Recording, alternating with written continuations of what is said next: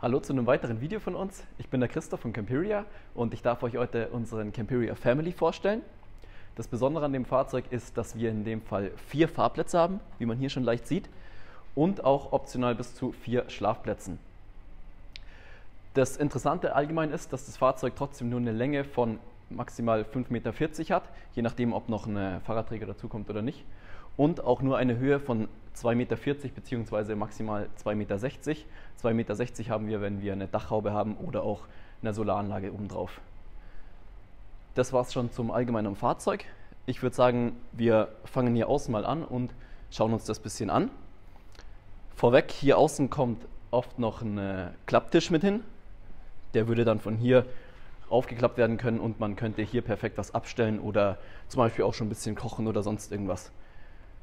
Wenn man gleich noch reingeht, hier zu Beginn unser Kühlschrank lässt sich um 180 Grad öffnen und man kommt von außen perfekt hin, hat innen noch ein Kühlfach hier oben drin. Das heißt, man kann auch ein paar Sachen gefrieren oder eben auch Eiswürfel zum Beispiel machen, wenn man sich hier gleich am Klapptisch einen Drink mixen will zum Beispiel. Dann gleich noch hier in der Küchenzeile mit dran.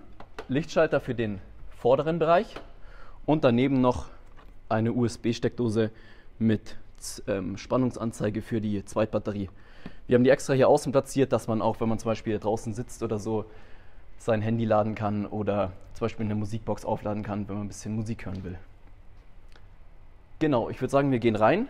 Ähm, hier ist keine Trittstufe verbaut, machen wir aber optional auch immer, vor allem bei der H2-Variante bietet sich das doch an, weil das doch ein bisschen höher ist. Genau, ihr könnt sehen, wir haben hier wirklich eine super Stehhöhe von circa 1,90 Meter. Je nachdem, wo man steht, bisschen mehr, bisschen weniger. Aber ich mit 1,75 Meter ungefähr ähm, komme hier super klar. Aber ich denke auch Leute, die ein bisschen größer sind oder noch wirklich einiges größer, ähm, fühlen sich hier super wohl. Hier vorne der Bereich ähm, besteht aus vier Fahrplätzen. Die zwei Fahrersitze und hier hinten äh, die Beifahrersitze dann ähm, können dann gedreht werden, die vorderen Sitze, und wir halten hier unsere Sitzgruppe mit unserem Tisch zusammen. Der Tisch ist hier unten ausklappbar, so dass auch der Beifahrer essen kann und genau ein bisschen eine Ablagefläche hat. Ist halt angenehm, dass der klappbar ist und oder beziehungsweise drehbar, damit man hier vorne den Bereich nutzen kann, um sich ein bisschen zu bewegen und ist halt wirklich wieder super easy gemacht. Ohne Probleme den kurz eindrehen und dann ist er weg.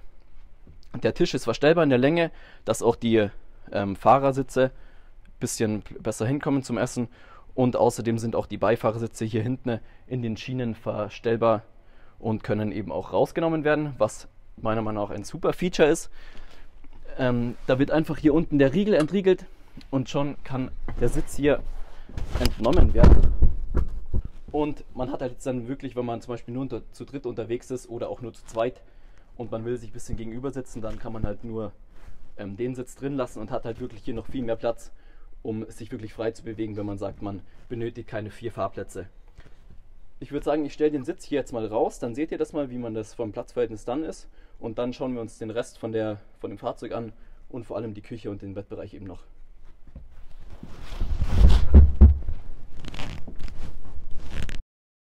Genau, Küchenbereich, angefangen hier oben.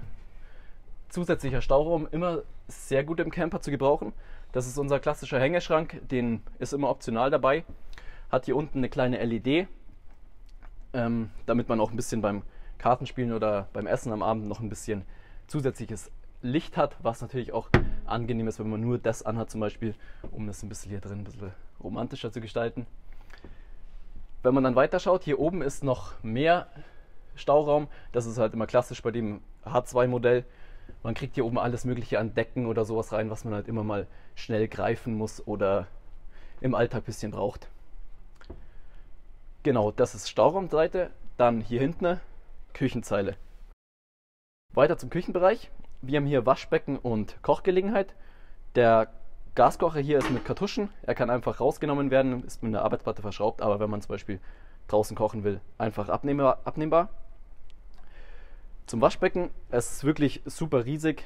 Äh, man kann leicht Töpfe abspülen, Pfannen abspülen, sonst was auch immer, wenn man zum Beispiel vor allem nicht am Campingplatz ist, sondern ein bisschen in der Wildnis ist und ein bisschen Wildcampen ist eben. Ähm, das Modell hier vom Wasserhahn ist optional mit einer Außendusche verfügbar. Die wird einfach hier eingeklipst und schon kann man, indem man hier anmacht, draußen zum Beispiel was abspülen oder den Hund abwaschen oder was auch immer. Einfach wieder raus und schon ist es wieder als Wasserhahn benutzbar. Wenn wir hier weiterschauen, haben wir hier zwei Schubladen. Bietet sich immer an für Besteck, was auch immer, was man eben in Schubladen so daheim auch verstaut. Hier auch nochmal das gleiche. Ist halt für meiner Meinung nach immer sehr praktisch, weil man schnell und einfach hinkommt. Rechts daneben ist ein weiteres Fach mit zwei Böden. Im unteren Bereich ist unser Frischwassertank. Der Abwassertank ist in dem Fall unterm Fahrzeug, damit man hier mehr Platz einfach hat. Bei uns sind immer 20 Liter Frischwasser dabei. Optional kann man hier in dem Camper unterm Bett oder wo auch immer, das seht ihr danach noch, ähm, weitere Kanister verstauen. Oben drüber ein kleineres Fach nochmal für Geschirrtücher oder was auch immer. Genau, das ist Küchenzeile 1 gewesen. Schauen wir weiter hier auf die Seite. Hier haben wir auch noch eine kleine Küchenzeile, einfach nur als Erweiterung gedacht, wenn man ein bisschen was Kleines schneiden muss oder mal noch was ablegen muss. Da haben wir unten drunter auch wieder zwei Fächer. Ich denke mal perfekt für Töpfe oder Pfannen oder sowas. Unten drunter und gleich hier oben eben auch ist die Standheizung. Hier oben das Bedienpanel. Hier unten drunter der Auslass für die Standheizung. Rechts daneben eine 230 Volt Steckdose. Die funktioniert, wenn entweder außen Landstrom angeschlossen ist oder wenn ein Wechselrichter verbaut ist. Das ist auch mal optional. Da haben wir Bereiche von 1,5 bis 2,5 kW. Hier oben drüber noch Glashalter. Das sind unsere eigenen Modelle. Ähm, finden wir immer perfekt, weil die Gläser einfach aufgeräumt sind, während der Fahrt nicht rumfliegen, aber man kommt halt auch einfach schnell hin und kann sich sein Weinglas oder sowas rausnehmen. Das ist Küchenbereich so gewesen schon mal. Ähm, ich würde sagen, wir gehen weiter zum Bettbereich. Wir haben hier vorne mehrere Fächer, angefangen hier mit links, dem kleinen hier. Einfach draufdrücken, entriegeln und schon hat man eine kleine Durchladung nach hinten. Man kann ein paar Wasserflaschen oder ein paar Kleinigkeiten, die man halt da stauen muss, einfach unterbekommen. Daneben zwei größere Schubladen. Oben die erste. Einfach rausziehbar und schon kann ich ein paar Sachen drin verstauen. Ich kann die Kiste auch rausnehmen, wenn ich will. Und zum Beispiel, keine Ahnung, meine Klamotten mit draufnehmen oder die Kiste mit hochnehmen und dann meine Klamotten einräumen. Und hier unten drunter dasselbe nochmal. Auch wieder einfach eine Kiste ganz easy gemacht. Und die kann ich auch wieder rausnehmen und komme wirklich super hin, wenn ich kurz mal spontan was brauche. Oder auch wirklich viele Sachen lagern muss. Das muss man natürlich auch so sehen. Daneben Lichtschalter für den hinteren Bereich. Und drunter wieder eine 12-Volt-Dose, zum Beispiel um ja, USB-Adapter einzustecken oder ein kleiner Wechselrichter für das Laptop-Ladegerät oder sonst irgendwas. Das Bett allgemein hat eine Breite von 1,40 Meter und eine Länge ungefähr von 1,90 Meter. Das heißt, für ein Querschläferbett ist es wirklich ähm, mit das Maximum, was rausholbar ist. Und es können wirklich auch größere Leute hier drin super schlafen. Bett ist an sich teilbar, da gehe ich danach noch weiter drauf ein. Das seht ihr dann von hinten. Optional hier wieder ein weiterer Hängeschrank, wie der da vorne auch eben auch wieder ganz normal aufklappbar. Man bekommt schnell seine Kleidung rein, die man eben im Alltag wieder ein bisschen braucht. Drunter wieder eine LED, damit man es am Abend im Bett ein bisschen gemütlich hat. Und hier oben ist wieder unsere Dachhaube, wie immer öffnbar, also kann aufgestellt werden und auch ähm, verdunkelt und mit Fliegengitter abgedeckt werden. Im hinteren Bereich auch noch ein kleines Fenster, bisschen zur Durchlüftung, gleiche Zirkulation der Luft. Genau, ich würde sagen, das war's vom Bettbereich und auch von dem Camper hier drin an sich. Wir schauen uns jetzt von hinten nochmal rein, wie es da aussieht und dann seht ihr auch das Bett, wie es geteilt werden kann. Genau, jetzt wieder von hinten der Camper.